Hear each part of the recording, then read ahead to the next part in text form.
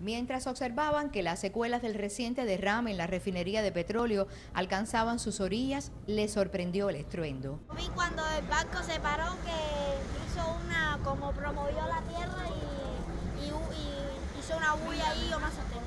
Me quedé impresionado y yo sí, mamá, mamá, mamá, mira el barco, vine para acá directo para la casa. Y mi mamá salió, ¿qué pasó? ¿Qué pasó?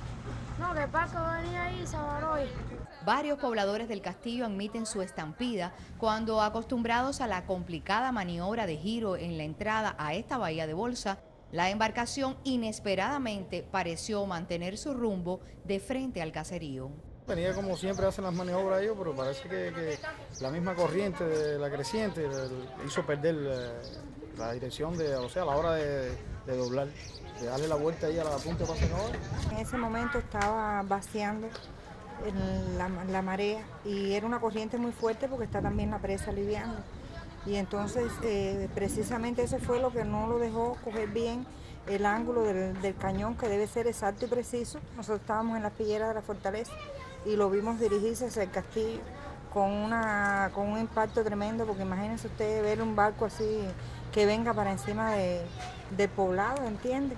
Eh, fue algo tremendo y aterrador a la vez pero el buque perteneciente a un armador griego y fletado por una entidad de la empresa consignataria Mambisa del Ministerio de Transporte finalmente se detuvo y quedó encallado este martes con sus 28 mil toneladas de arroz procedentes de Vietnam. Según declaraciones exclusivas del práctico a cargo, la maniobra era segura. La entrada se, realizó buscando las condiciones de marea ideales. Durante el pilotaje de entrada eh, la potencia de máquina del buque y los ángulos del timón no pudieron vencer realmente la fuerza de la corriente. Eh, hicimos todo lo posible, tratamos, le dimos toda la máquina, previmos, fondeamos el ancla, dimos toda la potencia de máquina atrás, pero no, fue posible. Realmente las condiciones eh, del, canal son, son muy anormales en estos momentos, por la, por la crecida de, los ríos. Mucha agua, mucha agua dulce eh, saliendo. Durante todo el día, los pobladores del castillo se mantuvieron a la expectativa de la mole de hierro, que a pesar de sus impresionantes dimensiones, es considerado un buque mediano.